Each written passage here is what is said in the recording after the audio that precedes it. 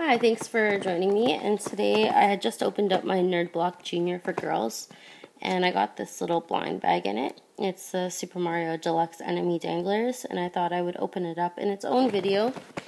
And uh, sorry, my couch makes weird noises. I'm gonna open it up and see what's inside.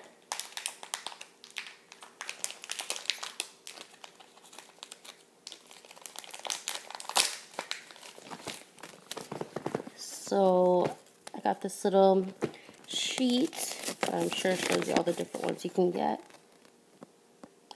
I would really like, hmm, which one would I like? Maybe the bomb, the mouse guy, the little Koopa, Troopa at the bottom, whatever his name is, or this little mushroom there. He'd be cute.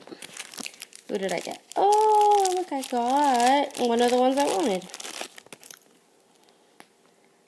The little mouse guy. Wiggling, mouse guy. Stop. Ah! there he is. It's pretty cute. Let's see if I can focus a little better. Cool. Thanks for watching. Bye.